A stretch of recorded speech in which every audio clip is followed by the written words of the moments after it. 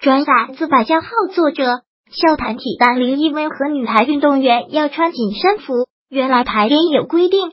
网友考虑真周到，中国男篮和男足都差到让球迷们心碎。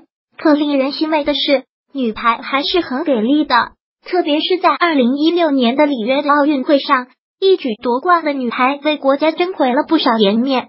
不过，看到女排运动员们，相信大家都会注意个点：为何女排运动员要穿紧身服呢？原来啊，是排联有规定呢。接下来就给大家说一下，为何女排运动员不能穿宽松的衣服呢？一、关于阻力原因，都知道如果衣服过于宽松，在跑步的时候阻力就会加大。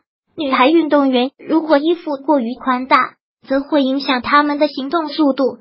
相反的，穿上紧身衣就不会了，他们会更好的行动，以便于接到球。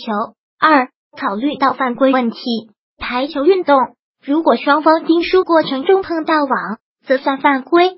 如果女排运动员穿着宽大的衣服，就大大增加了触网的可能性。为了避免这种情况时常发生，穿紧身衣无疑是最好的选择，因为它可以把身体完全包裹住。三。防走光，我们在看排球运动员在比赛的时候，最常做的动作就是扑倒去救快要跌落的球。如果此时穿宽松的衣服，很大可能性会走光，这样毕竟是觉效果不好，也不利于保护人的隐私。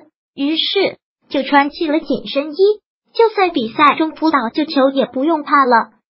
四更好发挥，不知道大家有没有这种感觉？穿宽松的。衣服很多动作都做不出来，无论是做什么动作都是如此。在排球运动中，需要跳高、下段、上扑这些动作，如果穿宽松的衣服，反而会影响他们正常发挥。穿紧身衣就不会了，会让他们舒展开来，四肢彻底释放，增加了赢得比赛的可能性。五、避免受伤。其实，在女排运动员比赛过程中，他们在防守还有接力传的时候，会不得不做出一个劈叉的动作。这劈叉是在仓促中完成的，不会很规范，所以很容易受伤。如果穿紧身衣，减少了裤子内侧边沿区对大腿内侧的肌肉和主筋的拉扯，从而降低受伤的几率。六，为了美观，这点其实也挺重要的。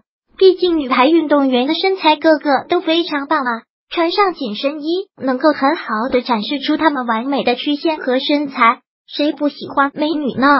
所以啊，穿上紧身衣的女排运动员们在赛场中挥洒汗水，可真是一道亮丽的风景线呀。对于排联规定女排运动员必须穿紧身衣参加比赛这件事儿，网友们纷纷表示想的真周到，不知道你们是怎么看待的呢？